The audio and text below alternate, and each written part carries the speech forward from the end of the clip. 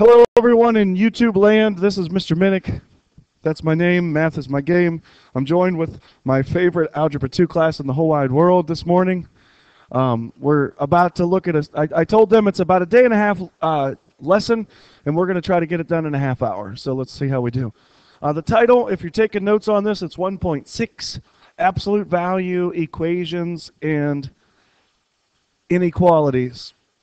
Absolute value equations and inequalities. A lot of times I like to, to write and take notes as well just to make sure that I'm going slow enough for everybody to write. So 1.6 absolute value equations and inequalities. And in this lesson, you'll find out that your sixth grade teacher lied to you. And I'm not, I don't, don't want to sound like I'm ever bad mouthing your sixth grade teacher, but they lied to you. They really did. Maybe not on purpose, but they lied to you. Uh, so there's some content standards that's up there for, for my purpose. If if uh, an administrator ever comes in and says, "Do you guys know why you're studying what you're supposed to be studying?" Well, that's why it is. It's because of ASSE 1B and ACED 1. Those are the Common Core content standards that that we're supposed to cover this year, and they're on the little chart in the back of the room too.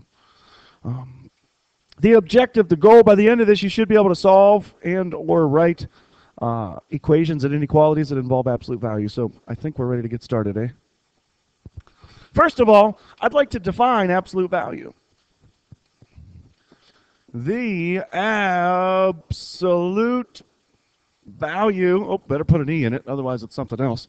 Um, value of a number or quantity or quantity. And I'm going to put this or quantity in here because nobody ever does. That little dot, sorry about that little dot that's in there, but so the absolute value of a number or quantity is And here's where your 6th grade teacher lied to you. Before we fill that in, your 6th grade teacher said the absolute value of 3 is 3. And they said the absolute value of negative 3 is 3. And they said it's always positive. It's that easy. Right? That's what they told you. Well, they're lying. Um, it's not always positive. Uh, last week we talked about zero being neutral, and sometimes it's zero. Um, anyway, the absolute value of a number, there is a reason why it's oftentimes positive, and it's because of the definition. Does anybody know what the definition of an absolute value is? It is What do we got? Why is absolute value positive usually? If I were to go from school to home, I would go 12 miles. When I ran cross country, I ran 5 kilometers. In middle school, it's 2 miles. The length of my hand is about 8 inches. The height of my body is 6 foot 1 and 1 eighth of an inch because of gravity. Thanks, gravity. The height of a basketball hoop is 10 foot. What are all those things that I'm talking about? They're positive numbers, but why are they positive? Because you can't have negative heights and stuff, because what are heights and stuff? There's a D word I'm looking for. Thank you, distances. Distances. It all has to do with distances, and they didn't tell you that in sixth grade. The absolute value of a number or quantity is its, is its, I better go back to the black ink, is its distance from zero, thank you, on a number line. That's the definition that your sixth grade teacher didn't tell you. Yes, it's a lot of times it's positive, and the reason it is is because it's a distance, and distances are positive, positive quantities, or sometimes zero. Does that make sense so far?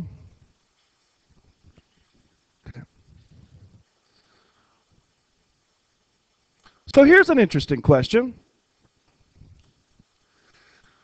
Uh, we've got a number line, or at least I'm going to try to sketch one here using my smart board. Here's a number line, and, and number lines are pretty easy to, to construct. We've got a zero dead smack in the middle. And remember these number lines, they go on forever and ever and ever, ever and ever, ever. I love that song. So anyway, number lines kind of look like that. So suppose we have something like x. And we want x to be, x is one unit from 0 on the number line. Well, the cool thing about X is it's not like Mario. I don't know if any of you ever play video games or not, LOL. But Mario only ever runs to the right, right? Well, check this out. If X is one unit away from 0 on a number line, that means it's over here, right? But what else does it mean? It means it could be over there too. What do you mean over there? Well, let me clone this. It means it could be sitting over here too. And that right there is the principle, the idea, the philosophy behind solving absolute value equations. And you might say, well, what does this have to do with anything? Does that mean the answer is always going to be plus or minus the same thing? No, it doesn't. No, it doesn't. But it does mean that there's going to be more than one answer some of the time. A lot of the time, in fact. We okay so far? Okay, so let's start simple. Example one. Solve the absolute value of x equals 6.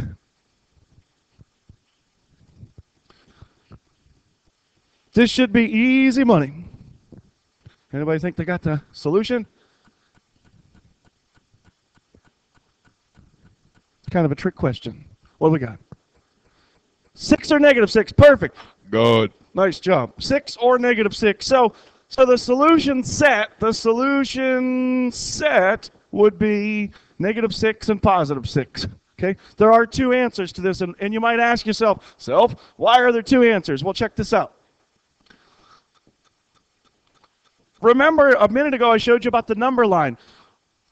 In math, a lot of times you, I'm so excited about this. I'm, I'm like, um, uh, um, words are just spilling out of my my uh, subconscious.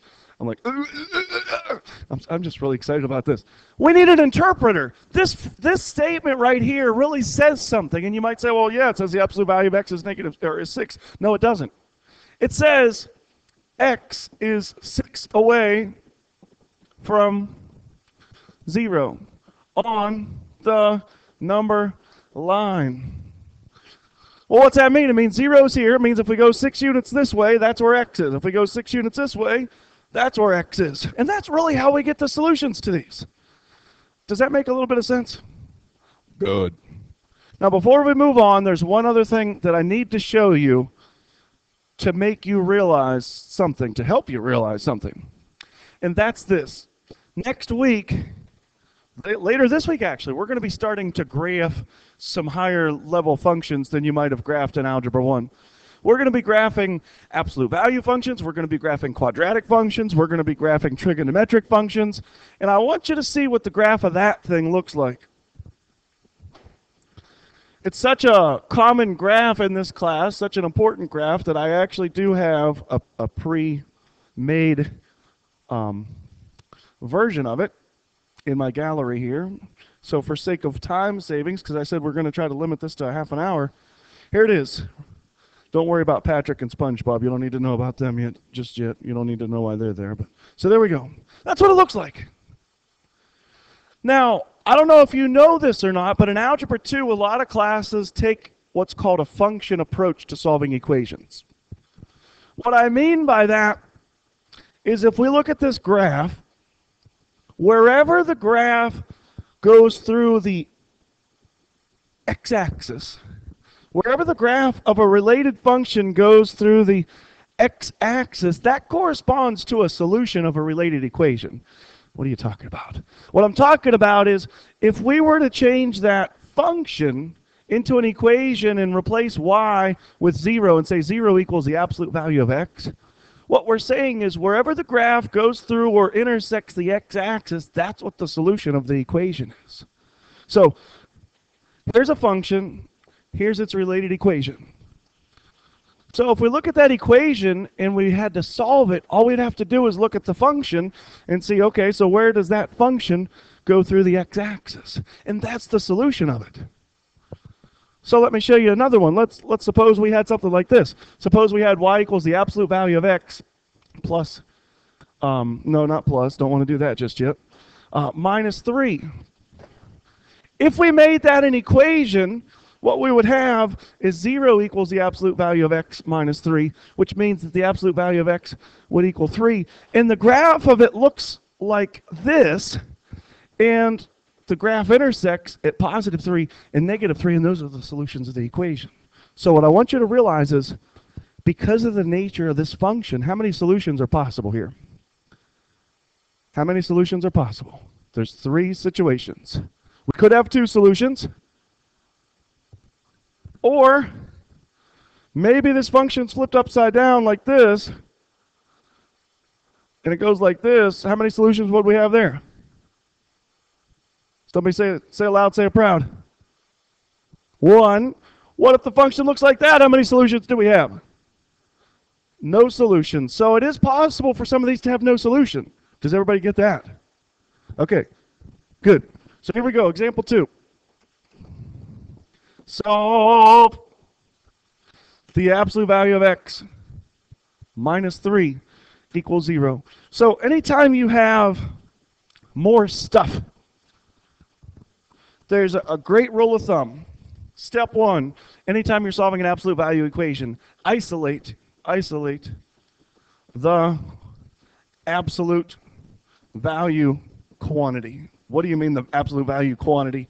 In this case, the absolute value of x. Get that stuff all by itself before you do anything else.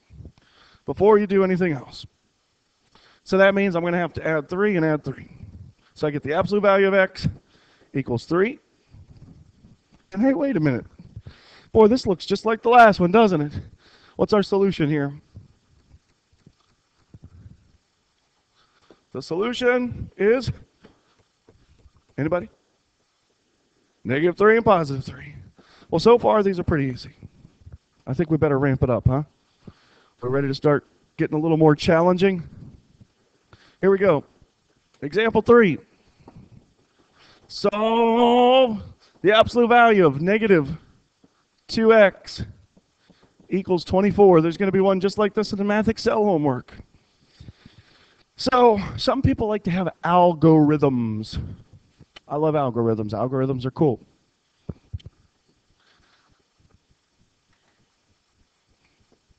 Here we go.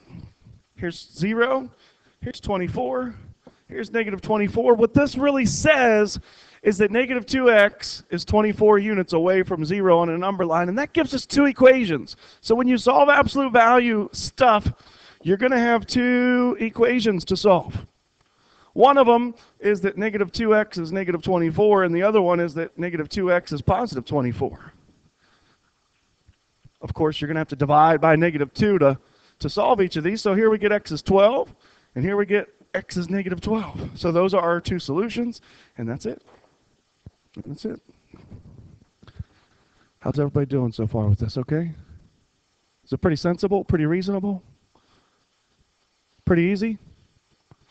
So up to this point, you would be able to do probably a third to three-eighths of the MathXL homework, and you wouldn't have any problems with it. Now, let's try example four.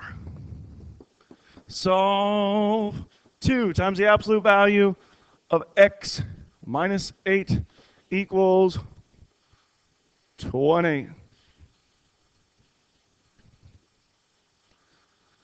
So what should we do first? I don't know if your other educators in math showed you this, but when you solve equations, you really want to use PEMDAS in the reverse order.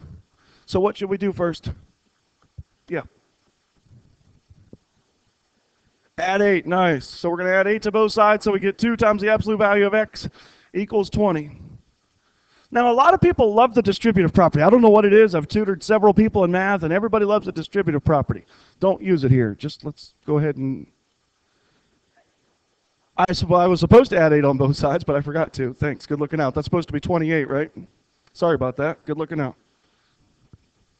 So what should I do now? I'm not distributing the 2, so I'm going to Divide by 2. Good. So the absolute value of x is 14. So then our solutions, our solutions are what? Negative 14 and 14. Yes. Well, this is easy. It's always plus or minus the same thing, isn't it? It's always plus or minus the same thing. If you think that way, well, example 5 might make you think again. Example 5. Solve absolute value of 2x plus 1 equals 7. There we go. So again, remember what this says, and remember how to, to set these up, how to interpret this. It says, here's 0, here's 7, here's negative 7. It's saying 2x plus 1 is 7 units from 0 on a number line. That's what it says.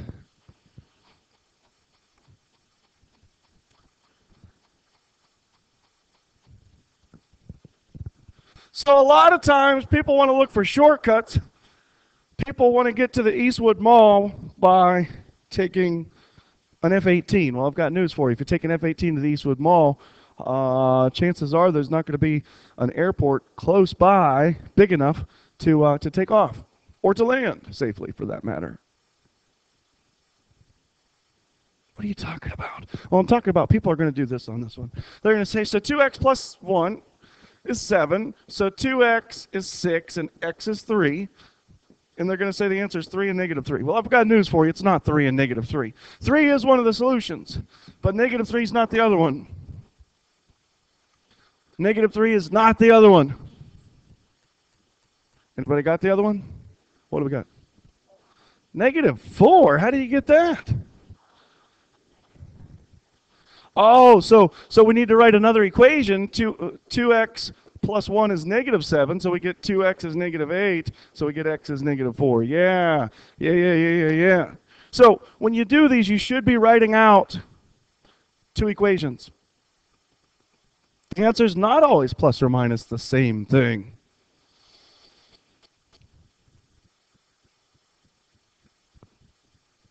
The answer is not always plus or minus the same thing.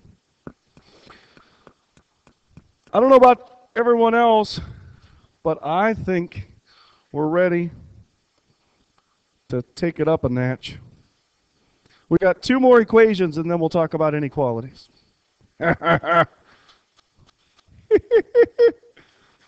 oh, this next one's great.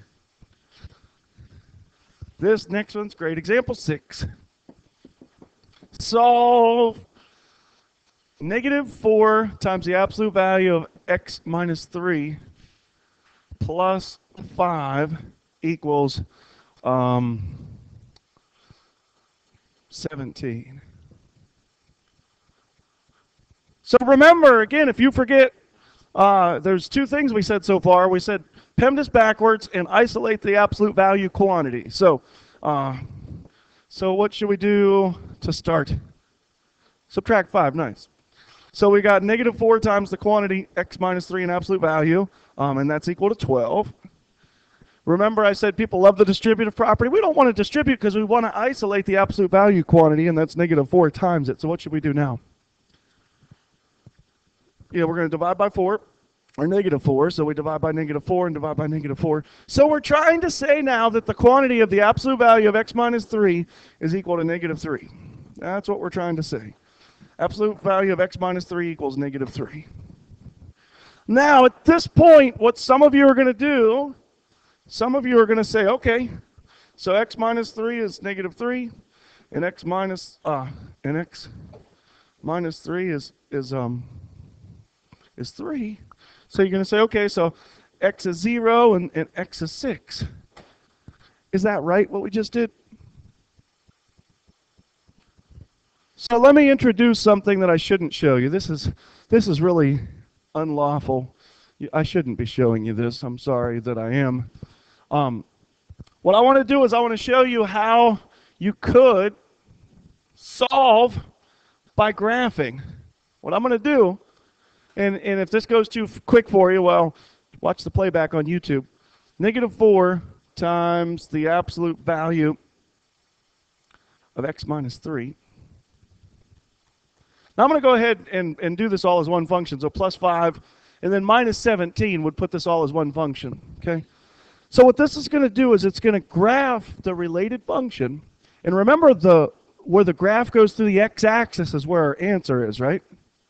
Where the graph goes to the x-axis is where our answer is. And I don't see the graph, so let me let me do a zoom fit. Let me do a zoom zoom fit.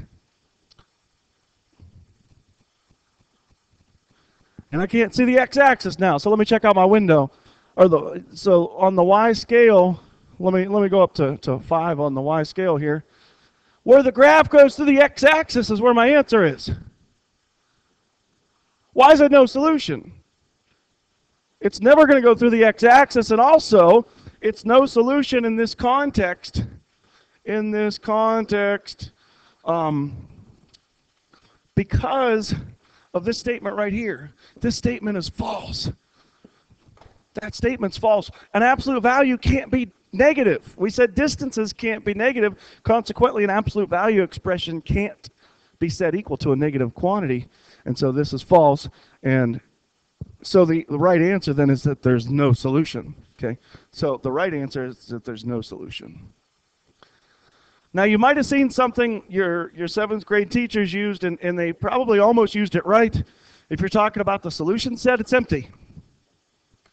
And there's a, a four-letter N-word called null, N-U-L-L. If you've ever seen somebody use that, that means the set of solutions is empty. It means there's not a solution.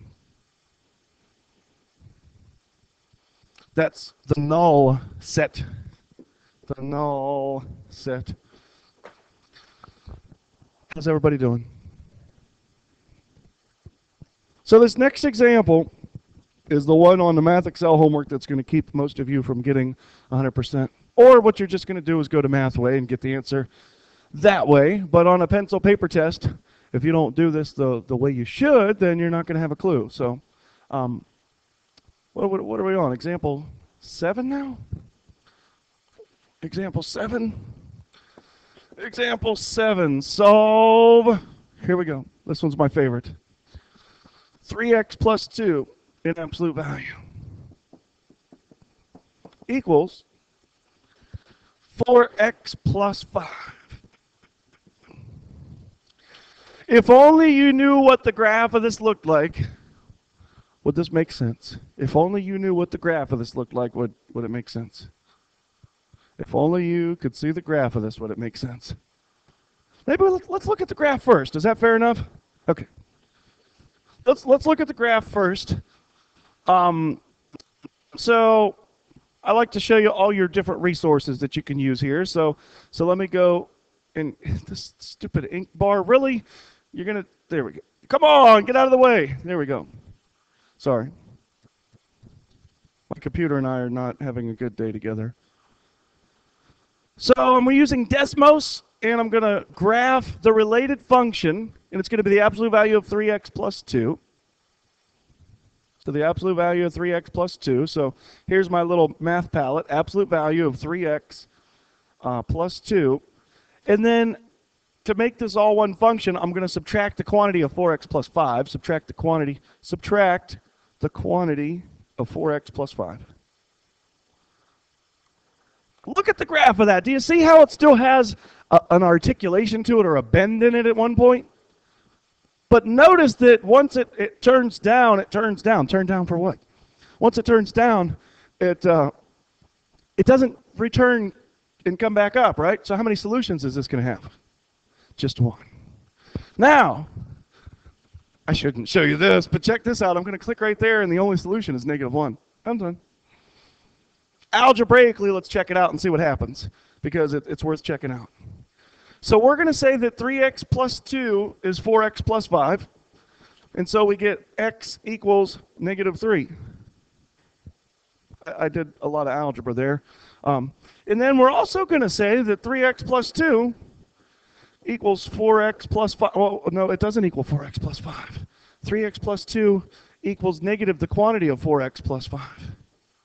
Does everyone get why I'm setting up that negative quantity there? I hope that makes sense. So, I get 3x plus 2 is negative 4x minus 5. So I'm going to get 7x is negative 7 and x equals negative 1. So they're both answers. And this is kind of gross, and I don't mean to gross anybody out, but one of those answers is kind of like a placenta.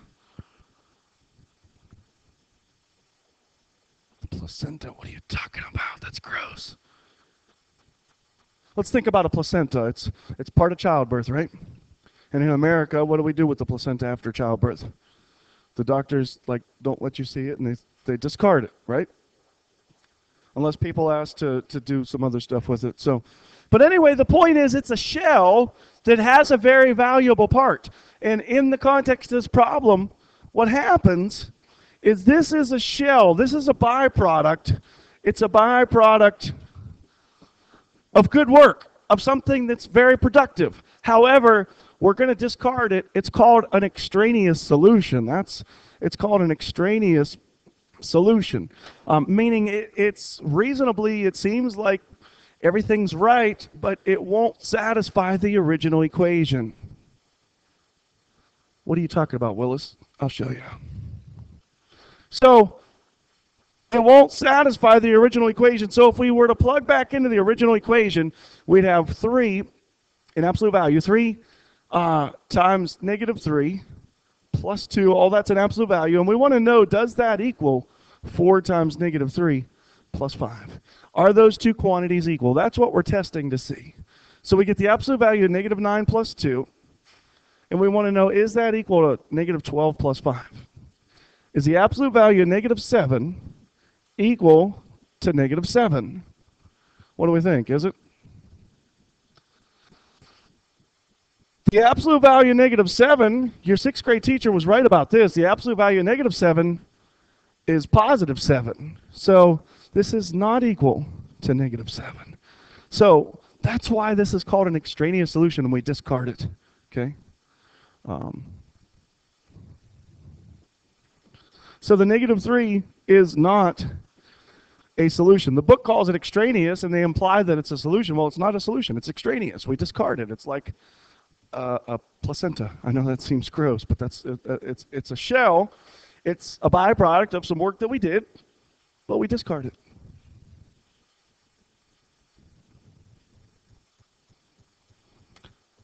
Everybody all right so far? Well, we're almost done. Um, absolute value inequalities. We ready for that? Does anyone in here ever uh, go out on a boat? Row, row, row your boat gently down the stream. Merrily, merrily, merrily, merrily, life is but a dream. We should get around going. That'd be good. What do you need to row a boat? Paddles and oars, right? I could tell you a boat story someday, but I'm not going to today. But oars of a boat look like that, right? O A R oar. Yes? If you could picture a boat here with somebody in it rowing. Right? Um, well, if you have the absolute value of some stuff and it's greater than or even greater than or equal to uh, a number, that's what you're going to have as an, an OR situation. And you'll see what I'm talking about here in a second. Okay. On the other hand, if you have the absolute value of stuff, and it's less than or even less than or equal to a number, what you're going to have is you're going to have betweenness. You're going to have betweenness. I probably need to put two ends in that, but you're going to have betweenness. You're going to have a graph that's going to look something like this. It almost looks like a barbell or something. I don't know.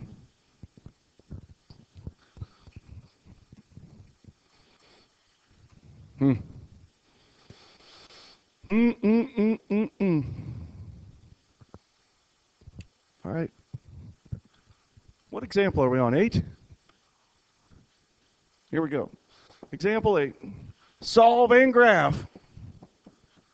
Solve and graph the absolute value of x plus 1 is greater than or equal to 8. Now let's think about what this means. It means here's 0, here's 8, here's negative 8. it means that x plus 1, it means that x plus 1 is, is somewhere in this vicinity, and it also means that x plus 1 is somewhere in this vicinity. So we're going to have two inequalities to set up. We're going to have two inequalities to set up. If we look at this, this one right here, we're going to say, you know what? x plus 1 is what 8? Is it greater than or less than 8? It's greater than or equal to 8. Okay. And then when we set up this other inequality, it's kind of, I, I, should have written the one on the one side and the other one on the other side. I apologize for making it confusing like that. You know what, let me, let me make this simple. I don't want to be confusing. So we've got x plus 1 is greater than or equal to 8. And then we also have x plus 1 is what the negative 8? Less than or equal. Do you remember doing this in Algebra 1 where you had to set it up and you had to change the sign and the sign? You change the inequality symbol and the SIG and the sign of the number. So you get x is less than or equal to negative 9. You get x is greater than or equal to, to, to 7.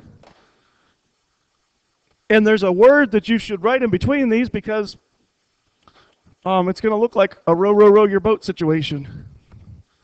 When you graph it, here's 7. No, that's not 7. That's uh, Here's negative 9. Here's 7.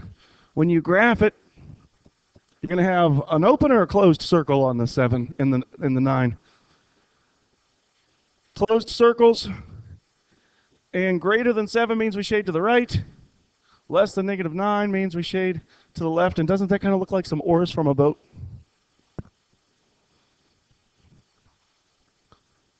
Everybody seem to be okay with this? I said I'd try to keep it to a half an hour. So that's it. It's been real. It's been fun.